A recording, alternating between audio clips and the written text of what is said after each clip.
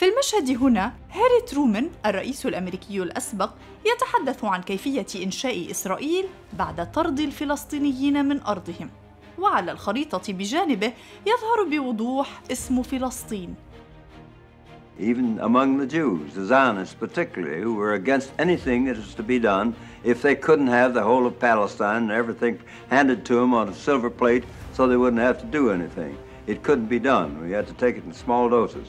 You can't move uh, five or six million people out of a country and fill it up with five or six million more and expect both sets of them to be pleased. ترومان سجل اسمه في التاريخ بمجموعة من الأمور الشنيعة منها إلقاء القنبلتين النوويتين على اليابان أيضا هو الرئيس الأمريكي الذي اعترف بإسرائيل بعد 11 دقيقة فقط من إعلان قادة الحركة الصهيونية قيام كيانهم فكانت أمريكا أول من اعترف بإسرائيل دولة.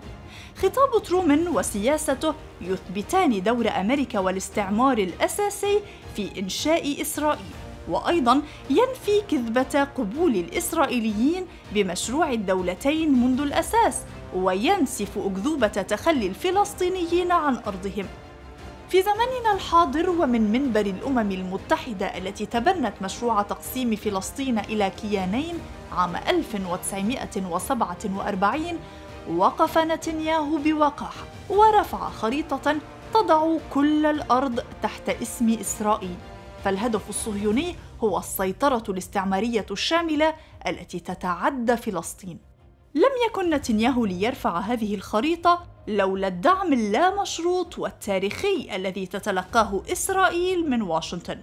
على مدى عقود تغيرت السياسات في أمريكا وتبدلت أسماء الرؤساء، لكنهم سواء كانوا جمهوريين أم ديمقراطيين يكررون عبارة لإسرائيل الحق في الدفاع عن نفسها رغم أنها كانت دائما المعتدية المحتلة فلماذا إذا هذا الدعم؟ بالنسبة لأمريكا مساندة إسرائيل تعني حماية المصالح ومشروع السيطرة على ثروات المنطقة ومواردها وهو وفق ما يقول بايدن أفضل استثمار تقوم به واشنطن. It is the best 3 billion dollar investment we make. Were there not an Israel, the United States of America would have to invent an Israel to protect her interest in the region.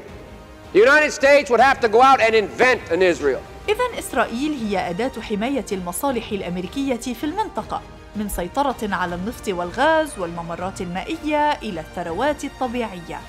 ولو لم تكن إسرائيل ومن خلفها أمريكا تحتل وتدمر وتصنع الحروب والقتل لكانت هذه الثروات طريق البلاد العربية إلى أن تكون قوة حقيقية في الساحة الدولية